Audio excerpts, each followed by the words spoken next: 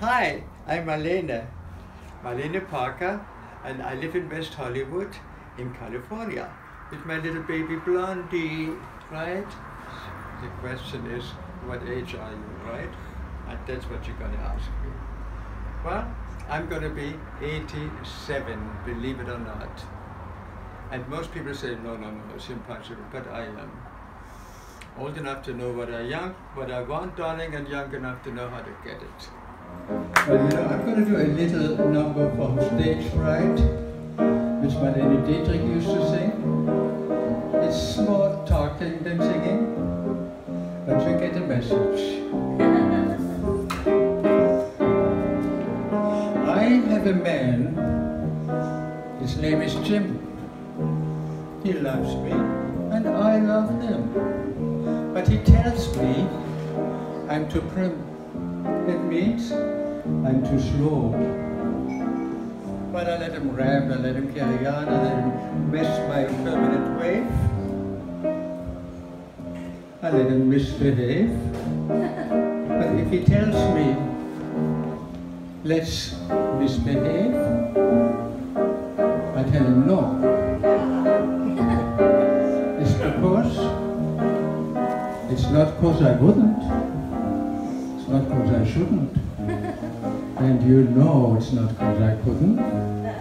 It's simply because I'm the laziest girl in town. My poor heart is aching to bring home the bacon. And if I'm alone and forsaken, it's simply because I'm the laziest girl in town. So I'm more than willing to learn how these girls make money to burn.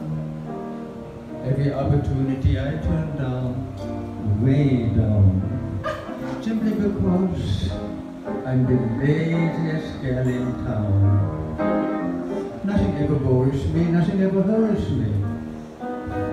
I take pleasure leisurely, even when I kiss. And when I kiss, they want some more, and wanting more becomes a bore. So it's not worth fighting for. Them this. It's not because I wouldn't. It's not because I couldn't. You know it's not because I couldn't. It's simply because I'm the laziest girl in town.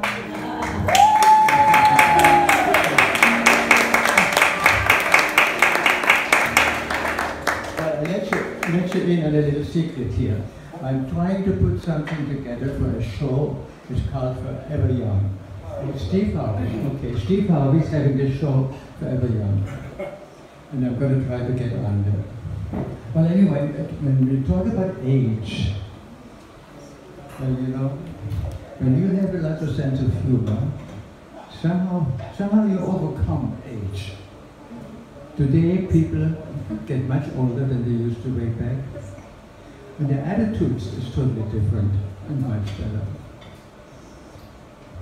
Well, you know, a guy comes on to me and says, oh, baby, I love an older woman.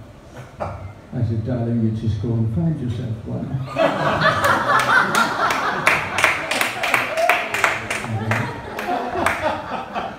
and when I tell him I'm from Germany, you know, it never fails. He said, oh yeah, what part? You know, you know, what part? I said, what do you mean what part? All of me. well, maybe some parts are made in America. you know, right? That's a different show.